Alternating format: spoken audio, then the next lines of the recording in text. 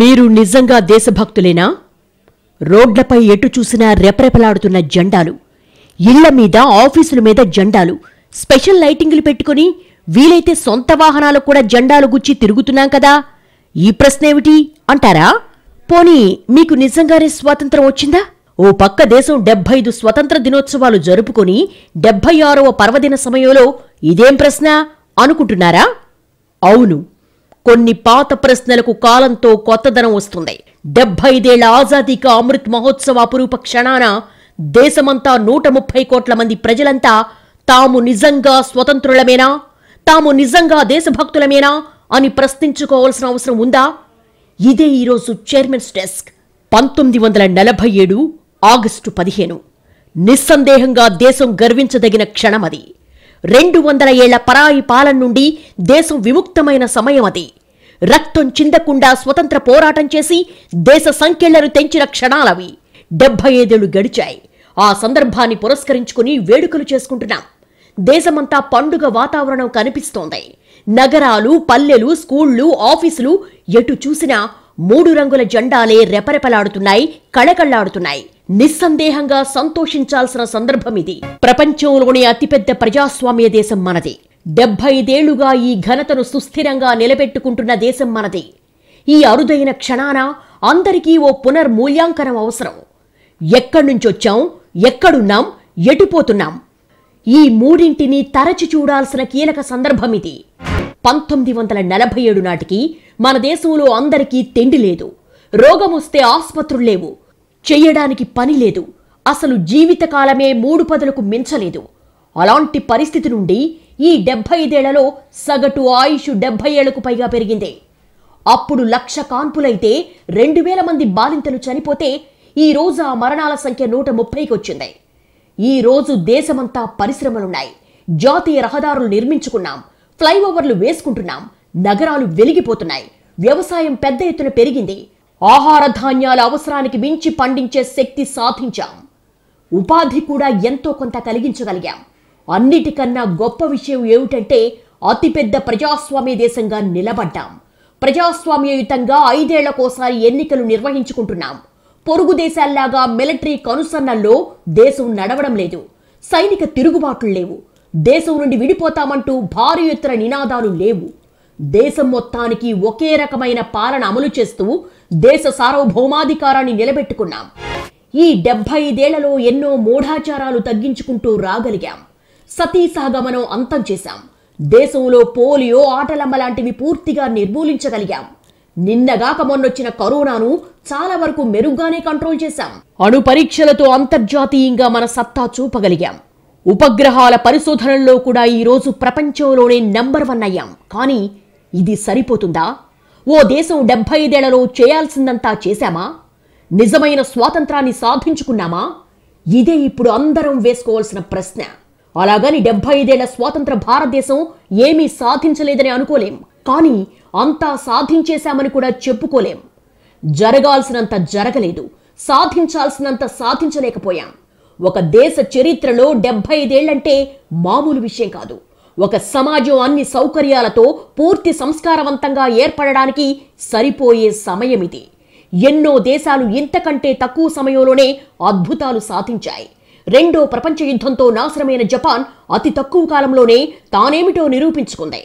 America Europe China దేశాలు కూడా ఈ డెబ్బై ఐదేళ్లలో ఎంతో ముందుకెళ్లాయి ఎడారులు సుందర నగరాలయ్యాయి బీడు భూముల దేశాలు అత్యంత నాగరిక సమాజాలుగా ఎదిగాయి వాటి ప్రగతితో పోలిస్తే భారత్ సాధించింది ఖచ్చితంగా తక్కువే మనం కూడా పరిశ్రమలు పెట్టాం ఆనకట్టలు కట్టాం ఇంటర్నెట్ వాడుతున్నాం ఫైవ్ జీ వైపు దూసుకెళ్తున్నాం రాకెట్లు ఎగరేస్తున్నాం వ్యవసాయ ఉత్పత్తులతో గౌడవులు నింపుతున్నాం క్లబ్బులు పబ్బులు నడుపుతున్నాం సాధించిన వాటి చిట్టా అబ్బో చాలా ఉండొచ్చు కానీ ఈ రోజుకు నూట ముప్పై కోట్ల మందికి పూర్తిగా చదువు అందరికీ ఆరోగ్యం భద్రమైన సమాజం భద్రమైన నగరాలు పరిశుభ్రమైన వాతావరణం నేరాలు లేని సమాజం సాధించామా స్వతంత్రం అంటే పరాయి పాలన నుండి మాత్రమేనా పేదరికం నుండి స్వాతంత్రం అవసరం లేదా రోగాల నుండి స్వాతంత్రం అవసరం లేదా నిరుద్యోగం నుండి అవినీతి నుండి కుల మత విభజనల నుండి విముక్తి అవసరం లేదా అది కదా నిజమైన స్వాతంత్రం దాన్ని సాధించేదెప్పుడు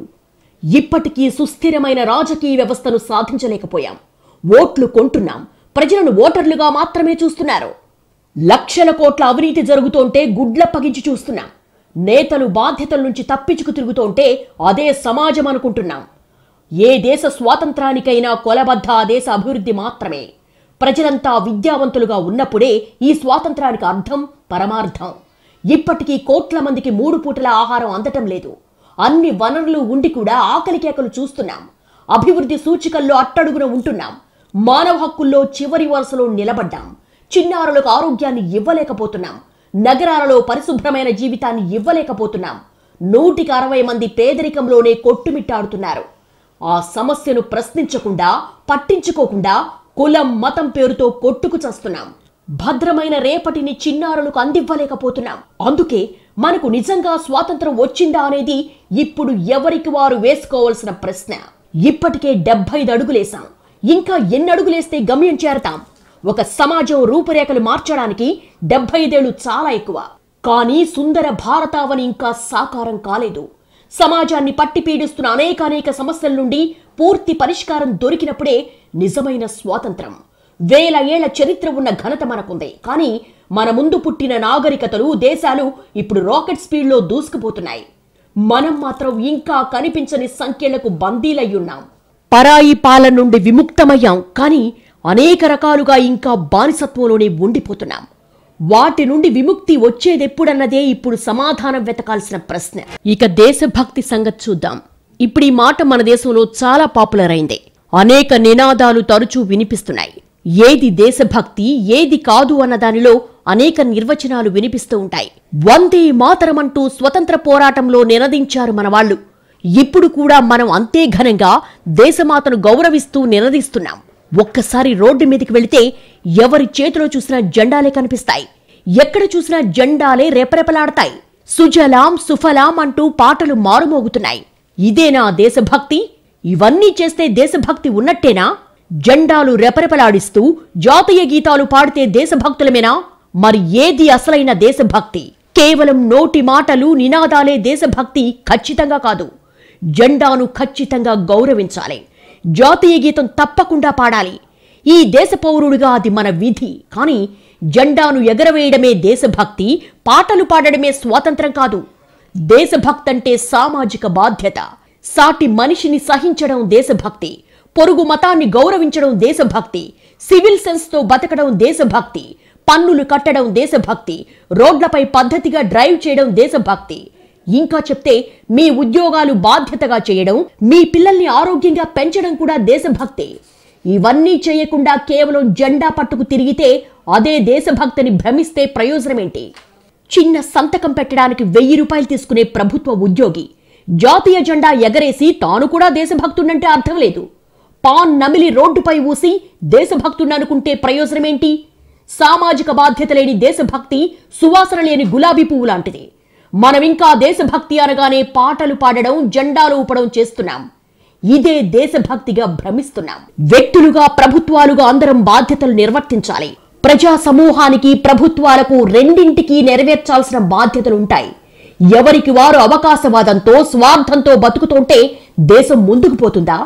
ప్రజలకు హక్కులు బాధ్యతలుంటాయి కోట్లాది ప్రజలు తమ హక్కులను అందుకునే పరిస్థితి ఉండాలి అదేవిధంగా బాధ్యతలను కూడా బుద్ధిగా నిర్వర్తించాలి అటు ప్రభుత్వాలకు చేయాల్సిన విధులు ఎన్నో ఉంటాయి ప్రజలకు మేలు చేసే నిర్ణయాలు తీసుకోవాలి ఎన్నికల లెక్కలు మాత్రమే కాకుండా జనాల అవసరాలను కూడా పట్టించుకోవాలి అధికారం చుట్టూ తిరిగే ఆతృతలో ప్రజల్ని గాలి కొదిలేయడం దేశభక్తి కాదు ప్రజల్ని మభ్యపెట్టి ఓట్లు కొల్లగొట్టాలి అనుకోవడం దేశభక్తి కానే కాదు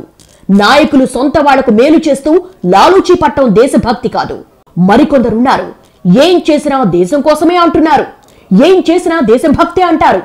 ఫలానా పని చేస్తే దేశభక్తి చేయకపోతే దేశద్రోహం అని తీర్పులిస్తున్నారు ఆఖరికి దేశభక్తి తినే తిండి కట్టుకునే బట్ట వరకు వచ్చింది ఇవన్నీ స్థల కాలమాన పరిస్థితులను బట్టి మారతాయని దేశభక్తి అంటే ఇంత సిల్లీ విషయం కాదని